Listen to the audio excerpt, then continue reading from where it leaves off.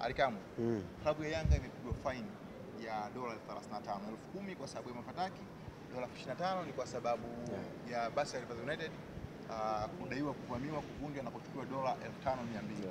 Kama Yanga amepokeaje kwa adhabu hii? Yes, kwanza hii ni taarifa rasmi kabisa kutoka CAF kwa sababu ukienda kwenye website ya CAF kwenye zile press release ambazo wanazitoa kwa ajili ya waandishi wa habari wametoa hizo adhabu ambayo wameipatia Young Africans.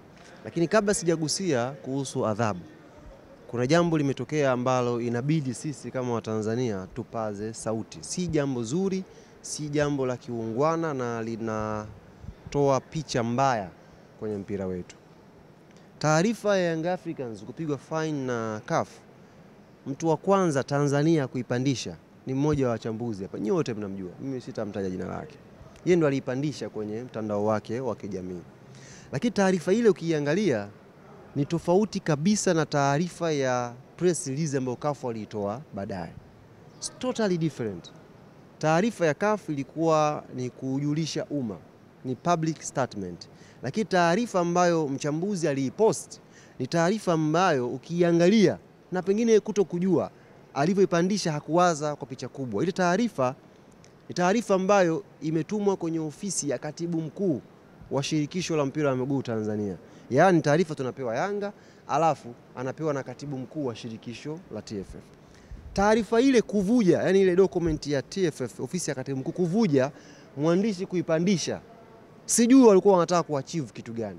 Labda of course wanataka kuachieve kwamba kujulisha umma Yanga amefungiwa, labda wanataka kuachieve hivyo ucheke Yanga, lakini kwa picha lingine, kwa jicho kubwa, unaivua nguo ofisi ya katibu mkuu wa TFF.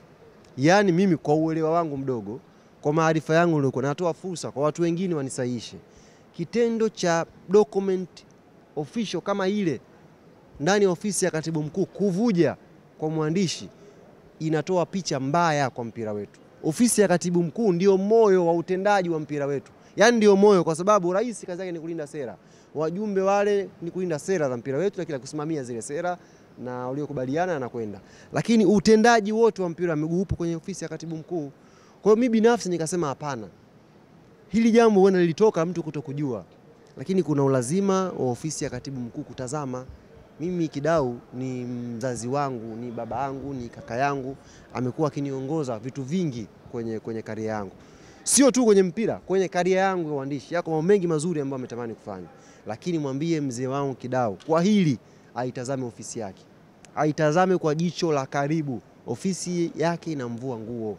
Haiwezekani dokumenti rasmi ambayo juu ina imeelekezwa kwake ikavuja kwa mwandishi. That's very very wrong, na inaonyesha hakuna weledi kwenye hilo jambo. Kwa hiyo sisi kama Watanzania lazima tupaze sauti. Ishu siyo Yanga kupigwa faini, ishu ni namna gani hiyo dokumenti ndani ya ofisi ya katibu mkuu inavuja, si unanielewa? Kwa mfano mmeshuhudia hapa Waarabu wanacheza bila mashabiki, mnaona kuna wengine wanacheza mashabiki nusu wamepewa, mnasikia anapigwa fine experience. Mshawahi kuona taarifa zao zimevuja wao, taarifa zile ambazo zimetumwa kwa federation? Hakuna, unaelewa? Hakuna. Why yetu ina, ina, ina, ina, ina mtu anakuwa yuko excited kiasi cha kwamba akitumiwa anavujisha, sio? Naelewa mimi, naelewa waandishi, kuna namna ya kutafuta story. Unaweza ukatafuta tip ukamfuata mtu bana, naomba nipe tip ya jambo fulani. Ah, akupa tip. Tip ni tofauti na mtu kushare document. Au kama anakupa document, kwa nini unashindwa kuikeep hiyo document? Sababu ni, ni privacy. Yaani ni jambo la hovyo limetokea ambalo kiukweli ilibidi watu waitazame kwa jicho kubwa. Yaani mjadala usiwe ile faini. Kwa sababu ni kitu obvious kwenye football. Watu wanapigwa sana faini. Mjadala uwe kwa nini document hii rasmi ofisi ya katibu mkuu imevuja kwa mwandishi?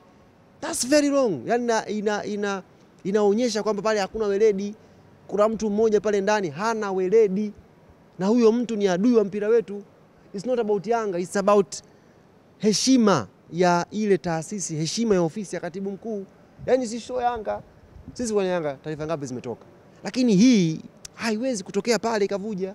Basi mwandishi alikuwa na subira, asubiri ile press release ya CAF ndio aipandishe, sio kuchukua taarifa official ya ofisi ya katibu mkuu itoke. That's very wrong. Sijui nyinyi mtachukuaje na mtaelezaje jamii, lakini kwangu mimi, na natoa pia fursa kwa watu wengine waoke ma- maoni yao, tunahitaji weledi zaidi pale. Kama yuko mtu mmoja anajaribu kuichafua ile ofisi ya katibu mkuu, huyo mtu ashughulikiwe, anautia doa mpira wetu. kwa jicho kubwa kwa watu wenye uelevu wakitazama. Bwana, sisi tumepokea taarifa na makosa yalikuwa mawili kama ulivyo- ulivyoeleza. Uongozi umekutana jana, umechukua hatua ya kuapili kwa maana ya kukata rufaa kwenye baadhi ya, ya maneno ambayo yameelekezwa pale. Kwa jambo likishafikia hatua hiyo, tunaliacha taratibu zake ziendelee, watu wanaojua masuala ya kisheria wajaribu kuchanganua, then tutatoa public statement baada ya kufika mwisho. Lakini tahadhari ambayo tumeichukua, hata kuingia kwenye hii migogoro. Kwa hiyo tumwambia mashabiki wetu siku ya kesho akija, inshallah waje kwa ajili ya kusherekea na kushangilia mpira, asibebe mtu bomu, asibebe mtu moto, asibebe mtu moshi wa aina yoyote, na kila mtu awe mlinzi wa mwingine. Kimwona mwenzako amepita nacho kwa bahati mbaya, mkataze, kwa sababu sio tu Yanga inayoathirika kupigwa faini, utaathirika pia wewe shabiki kwa kunyimwa fursa ya kuja Benjamin Mkapa kushuhudia mechi za CAF. Kwa hiyo naamini kwa hilo watakuwa wamenielewa mashabiki wa Young Africans na watakuja kesho wakiwa wastaarabu na ngoma zetu, tuchi yetu, sherehekeeni wakati wetu, jivunie kwa ustaarabu ambao tuko nao. Nini sasa msimamo wa Yanga Afrika mara baada ya kupigwa faini hii? Mna siku tatu tu za kukata rufaa. Leo ni siku ya pili kama sikosea. Nafikiri nimesha nimesha kujibu kwamba tumekaa jana fanya tathmini ya ile taarifa na tumesha apili. Kwa hiyo tu- tukisha apili, maana yake hatuwezi na kuendelea kuongea, maana yake tunasubiri taratibu ziendelee kushughulikiwa. Ndio maana nimekuambia tayari jambo limefika katika stage hiyo, tuwe watulivu. Yanga yatoa taarifa rasmi baadaye, baada ya kufika mwisho kwenye jambo hili. Uh,